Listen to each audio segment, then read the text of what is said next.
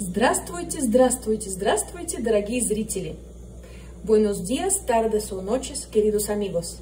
Me llamo Elenik, soy ruso-mexicana, guía de turistas, cantante y todo lo demás. Y hoy les voy a mostrar algo muy ruso, una comida muy rusa. Es un cereal que se llama grechka. No hay traducción al español. Yo creo que en todos los idiomas se va a llamar igual, grechka, como en Rusia porque solo crece en Rusia y se come en Rusia. Bueno, en todos los países exsoviéticos. Se supone, es costumbre de creer que grechka solo crece en Rusia, pero Rusia no fue la patria, digamos, de la grechka. La grechka por primera vez uh, apareció en China hace más de 5.000 años, en el sur de China, a pie de Himalaya era un cereal que los chinos comían, comían y comían. Bueno, acabo de leer, por cierto, que grechka es un pseudo cereal. Aquí les voy a mostrar que es grechka. No es como arroz, no, no tiene nada que ver con arroz. Es totalmente diferente, aunque pueda parecer al arroz.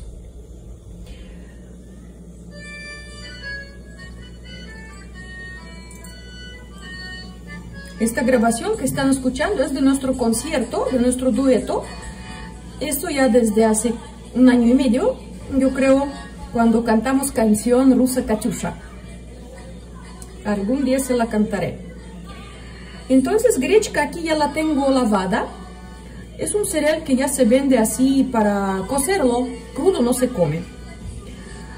Es muy duro. Es muy, muy duro. No se puede separar, no se puede destruir con los dedos.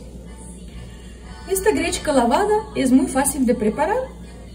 La voy a añadir al agua ya caliente. A mí me gusta preparar todo de antemano.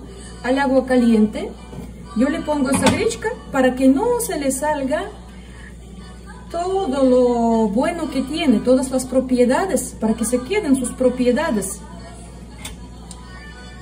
Grechka es rica en proteína, no tiene gluten, no tiene azúcar, es muy buena para los diabéticos. Grechka no sube para nada azúcar en la sangre, no sube la glucosa. Grechka es muy bueno también para el páncreas. Les voy a descubrir un pequeño secreto. Yo hace más de cinco años, como hace ocho años, estudié nutrición. Por eso algo sé de la cocina. Me gusta cocinar, pero no me gusta gastar mucho tiempo en cocinar. Por eso todo lo que hago es bastante breve, pero muy saludable. Y así vamos a hervir la grechka 3 minutos, durante 3 minutos. La podemos tapar. Yo la hago ahora sin sal, sin especias, grechka natural. Pero ustedes le pueden añadir sal, especias a gusto, chile a gusto, lo que quieran. Grechka es muy universal. También grechka se puede comer, como guarnición con carne, con pescado, no, no, con pescado no, por cierto, no muy bien. Uh, con carne sí de res, con hígado, grechka con hígado está ideal, porque hígado tiene uh, mucha, mucho hierro y grechka tiene mucha proteína, pero es cereal, son carbohidratos. Entonces los dos, grechka y hígado, se juntan muy bien, se llevan muy bien.